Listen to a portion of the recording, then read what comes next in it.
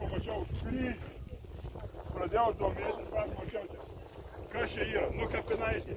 Ir dabar norėjau pasakyti, tą kelią, kurį mes kirtome, tada matome netičkempio kaimą.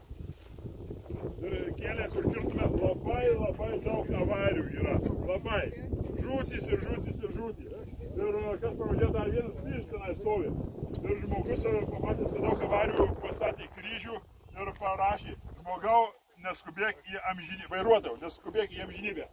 Kaip keista, ar ne keista, po metų jis buvo suvažinėtas ant to pačio kelių. Žmonės nuo senų kalba, kad e, tas kelias nelaimingas yra e, ir e, nes žemės vežtos nuo kapinaičių.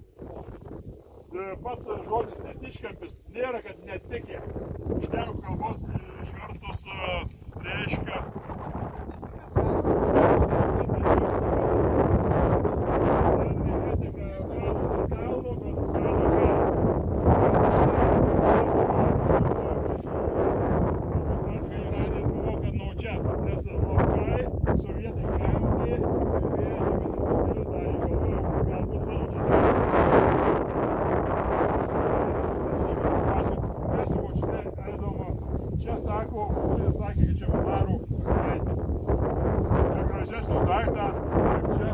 sužydė alyvos, taip viskas paprasta, sunku surasti.